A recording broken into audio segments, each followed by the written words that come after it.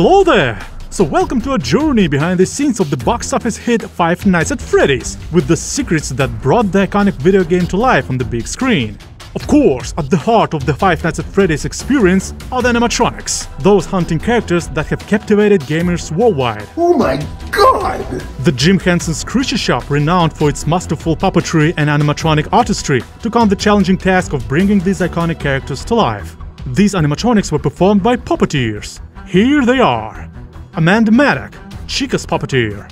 Sarah Sarangar, Bonnie's puppeteer. She's also an actress and stand-up comedian. Russ Walko, Foxy's puppeteer.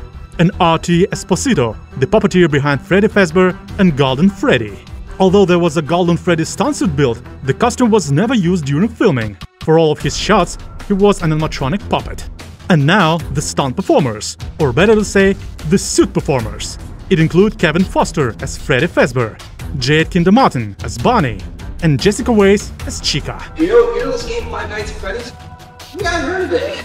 I never. They actually played these characters. They performed the animatronics live-action moves for Bonnie, Freddy and Chica. Foxy was completely controlled by puppeteer Russ Walko. They said the animatronic suits were heavy and had a small range of motion.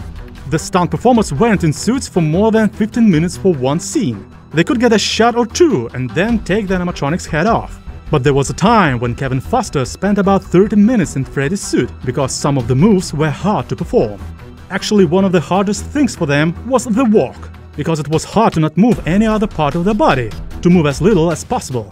Due to Foxy's skeletal structure, he was built as a life-size animatronic puppet and performed by Russ Walko along with a team of puppeteers from Jim Henson's Creature Shop.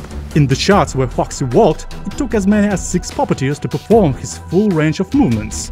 Here you can see what it was like on set.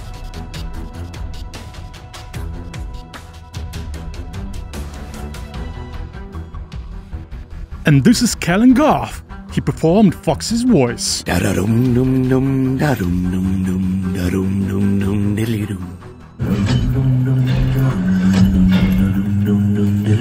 Actually, there's a lot of Five Nights at Freddy's behind the scenes footage. Just take a look. It's so cool to watch the filming process behind the camera. Many items, sets, scenes, and even camera angles in the film are replicated directly from 2014 video game Five Nights at Freddy's. By the way, filming of the movie was completed in just two months.